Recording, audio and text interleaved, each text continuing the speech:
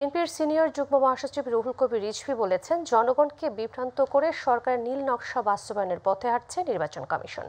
সকালে নয়াপল্টনে বিএনপির কেন্দ্রীয় কার্যালয়ে এক সংবাদ সম্মেলনে এমন মন্তব্য করেন বিএনপির সিনিয়র যুগ্ম মহাসচিব রুহুল কবির রিজভি। তিনি বলেন কমিশনের দায়িত্বপ্রাপ্ত প্রত্যেককেই আওয়ামী লীগের নিবেদিত কর্মী। নির্বাচন কমিশনের আচার আচরণে সাংবিধানিক সত্তার কিছুই প্রকাশ পাচ্ছে না। এ সময় তিনি লোডশেডিং ও বিদ্যুৎ খাত নিয়ে সরকারের সমালোচনা করেন। শেখ হাসিনার কাছে আত্মা বিক্রি করা মানুষদেরকেই নির্বাচন কমিশনে বসা- বসানো হয়েছে। তো এখন সেই নির্বাচন কমিশন প্রতিদ্বন্দ্বিতাহীন নির্বাচন করবেন না রাতের আধারের নিশিরাতের নির্বাচন করবেন না আরেকটা কোনো অভিনব মানে ভোট ডাকাতির কোনো নির্বাচনের নতুন কোনো দৃষ্টান্ত দেখাবেন, সেটা তো বলা খুব মুশকিল এই মুহূর্তে। তবে আমাদের কথা হচ্ছে, একমাত্র নির্দলীয় নিরপেক্ষ সরকারের ব্যবস্থা কায়েম হবে এবং তারা যে একেবারেই নিরপেক্ষ ব্যক্তিদের দিয়ে যে নির্বাচন কমিশন করবেন তার অধীনেই বিএনপি নির্বাচন করবে।